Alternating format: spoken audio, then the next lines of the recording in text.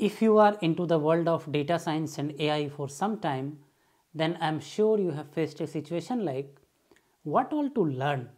Every day something new comes up. What to do with all these things, right? How to learn many things. That too with our regular jobs. That is exactly what I'm going to cover as part of this video. And the reason is I'm also in a full-time job and for creating content, I need to read and learn. Okay. Without that, I can't create videos. So how do I learn the things? How do I go about it? And what are the things that help me? This video is covered in three sections. First is I am going to tell you from my personal experience how to build that learning muscle. Okay. So guys, in the world there are different types of jobs. Remember our job is mind intensive. Okay. What are the things that will help you to build the learning muscle? That is part 1. Part 2 is in this flood of materials, in this sea of material, in this ocean of material, right? How do you filter what should you take forward and invest your limited time, limited resource that is time on that? right you can't spend time on every video that is on the internet you can't spend time on every course that is out there right where to spend time that is part 2 how to filter that and part 3 is how do you define the process of learning? Practical ways from my own experience. Let's start the video guys. This is not about machine learning concepts. Some of the very very practical aspects of life okay? That will be helpful to you because that is helping me. Let's start guys. First of all, I told you how to build the learning muscle, right? So one thing you and me have to understand is what are the things that uh, weakens the mind or what are the things that that creates a bad uh, you know you can say chemicals or bad impact on the mind? Few points i will cover and please try to you know listen this once because these are the things that is helping me. Just try to listen once and then you can take your call whether you want to follow or not follow okay? First of all guys don't rush through your day okay? Don't rush through your day meaning um, let's say if you work from home and if you log in at 9 a.m or 10 a.m whatever your time is if you have to reach office at 10 a.m do not wake up at let's say 8 a.m or 8.30 what will happen is the tone of the day right gets disturbed when you rush through in the morning okay? So just try to avoid rushing to the office rushing to the work in the morning okay? Rushing to your college. How that can be avoided?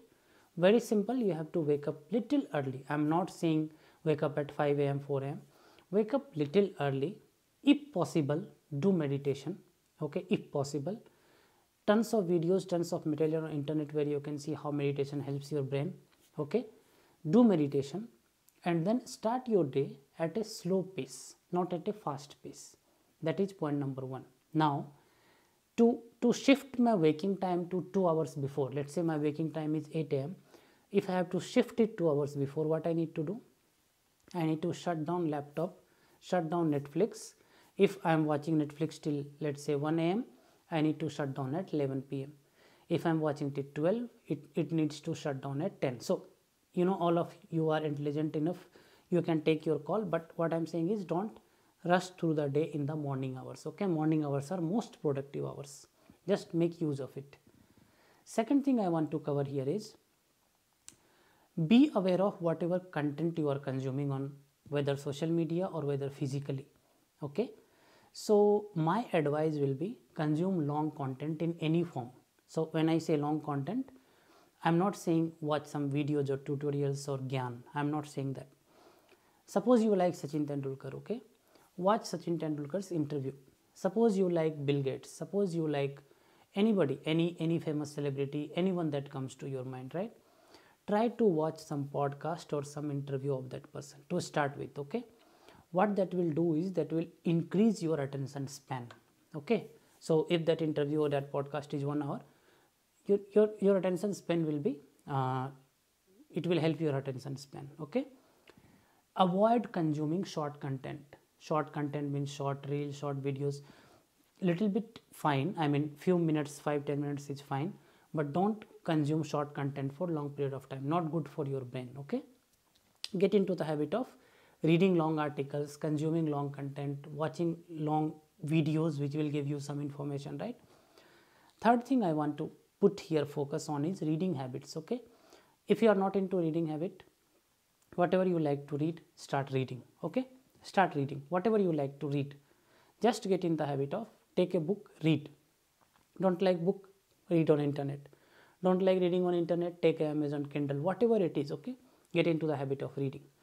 Fourth thing spend time with nature. Some time you should spend with nature. Specifically i'm getting this point because of work from home kind of scenario right? Get out of your home. Maybe um, if there is a park nearby or if there is some sunlight if there is some some way to interact with the nature. That will help you. Next point i want to cover here is just make a note of your eating patterns. Okay? All these things i'm telling from my personal experience guys. Very basic basic things okay?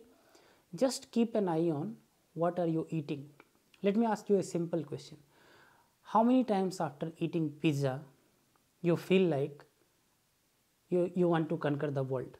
Or after eating pizza you are like where is the bed? I am gonna sleep. Just notice how pizza what pizza does to the system. I'm not saying don't eat pizza.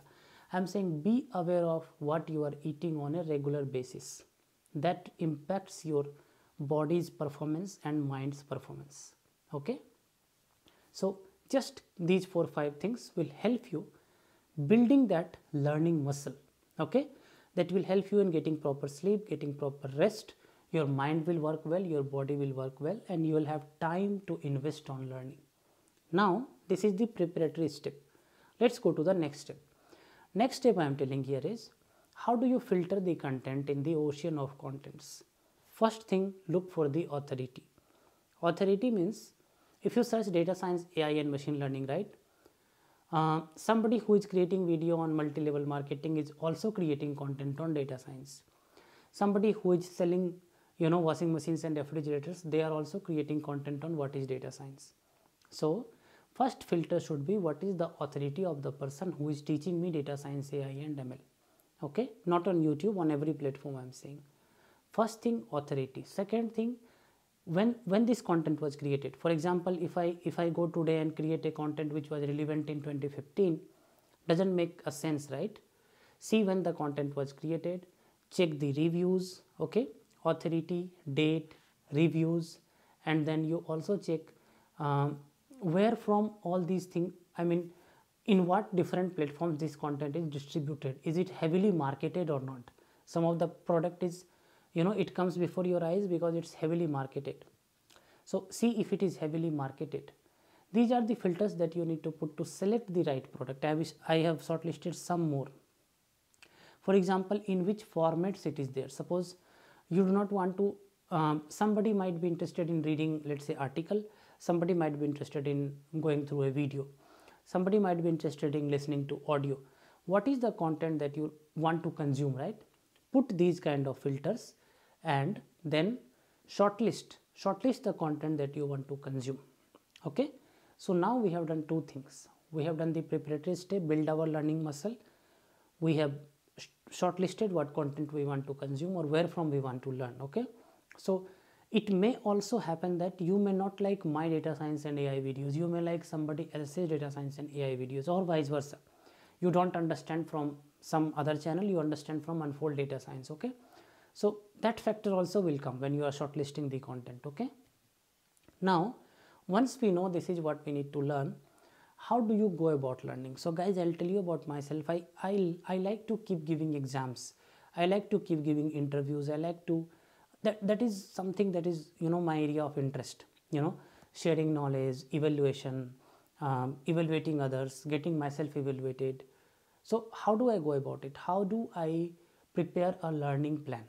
So first of all it has to be a time bound plan okay so the course which is there on unfold data science when i downloaded the report right what i can see is there are very active students and there are students who just purchase the course and they're, they're not doing anything because in their mind target is not time bound it has to be a time bound target. Please try to understand this.